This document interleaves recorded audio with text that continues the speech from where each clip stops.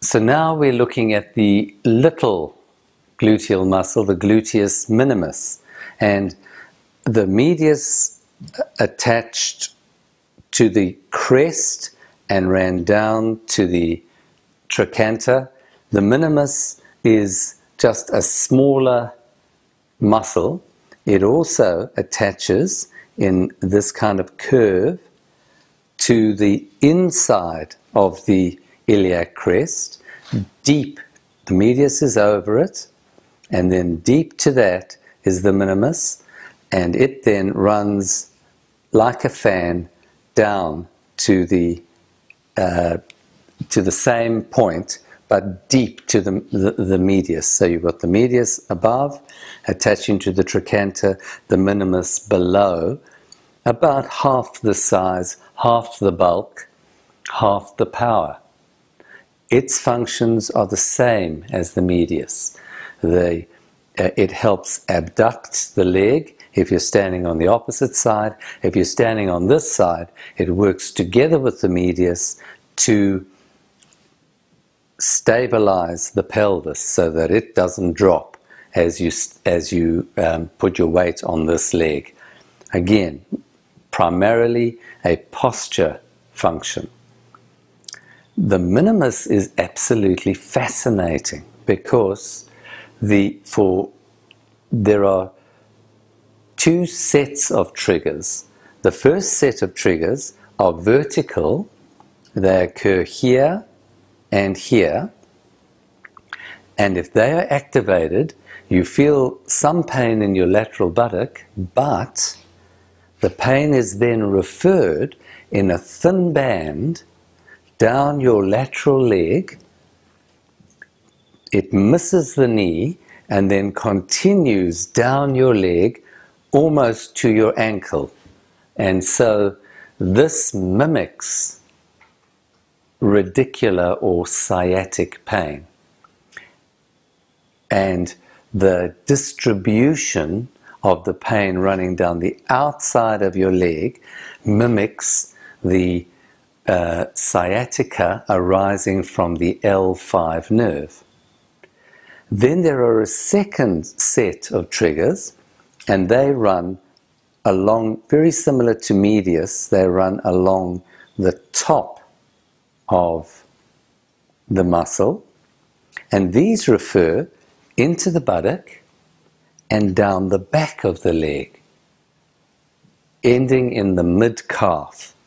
So, this fascinating, fascinating, um, completely different and complex, and for a lot of people, very confusing pain reference zones because they so mimic, these mimic the S1 distribution of, of um, sciatic nerve distribution.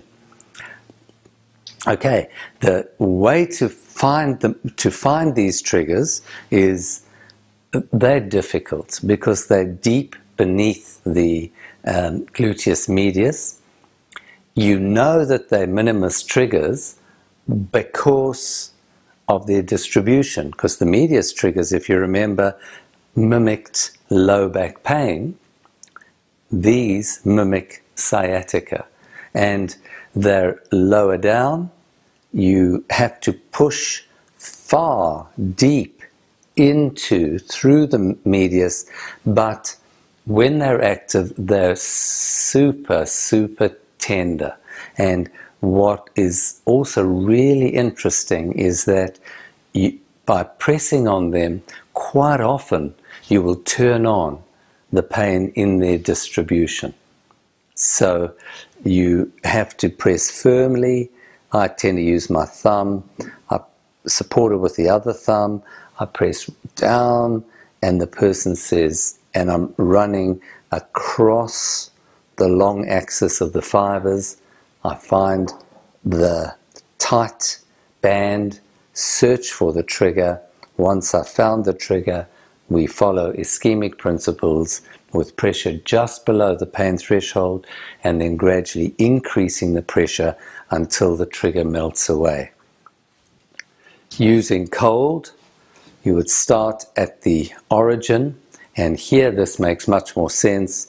You would start at the origin, over the trigger, into the insertion, down the pain distribution zone, and then you do two or three runs. Then you stretch the muscle. And just like the medius, there are muscle fibers that are in front and there are muscle fibers in the back. If the triggers are in the in the in the front, uh, you will extend the hip and drop it down. So can you lean your body forward like like that? And if the triggers are at the back, you will flex the hip and drop the leg forward, stretching it out like that. And then heat and repeat the stretch. So, so there you are. We've looked at all these three muscles, and what's so interesting about them is that the pain reference zone is so markedly different in muscles that have the same functions and virtually the same anatomy. Uh, so this is one of the um, amazing things and confusing things about myofascial pain. Once you understand it, you have such power. And so, if you were a, a normally trained doctor in, in most medical schools around the world, you would not, in fact, be aware of these trigger points. And the fact is that they're actually really, really common. And so you would have somebody who had this pain running down their leg or running down the back or the side of their leg, and you would assume from its pattern that this was uh, sciatica arising from a disc prolapse. You would do an MRI, and the MRI would be completely normal, which would then leave you very puzzled, and you wouldn't actually know what to do. Whereas if you had this knowledge that this little muscle has these two sets of triggers, and these triggers create pain in exactly the same distribution, you would be able to, with your hands, find the triggers, treat the triggers, no need for expensive investigations, and the person, after a few treatments, would have be pain free. This is exciting and is very empowering.